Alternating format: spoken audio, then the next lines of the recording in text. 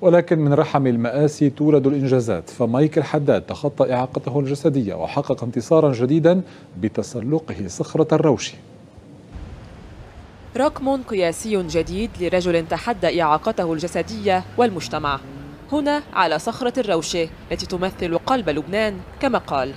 ها هو مايكل حداد يتسلق الصخرة على ارتفاع يتخطى الأربعين مترا رغم الشلل الذي يعانيه من صدره حتى أسفل قدميه. ها هو يثبت للجميع أن الإنسان بإرادته وإيمانه قادر على كسر كل الحواجز. وصل مايكل إلى صخرة الروشة ورفع علم لبنان شاكرا الجيش وفوج المغاوير الذي تدرب معه على تسلق طيلة ثلاثة أشهر. ومن رجل تحدى إعاقته رسالة إلى كل اللبنانيين. اليوم أنا طلعت تقول ثلاث كلمات.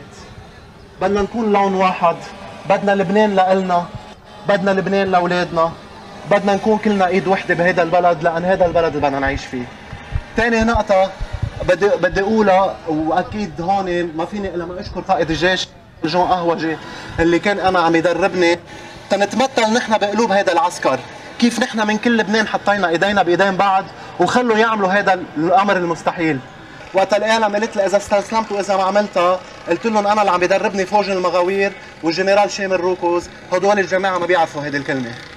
شغلة ثالثة اليوم عملتها ونقيت صخرة الروشة لأن نحن لازم نحط عيننا على البيئة.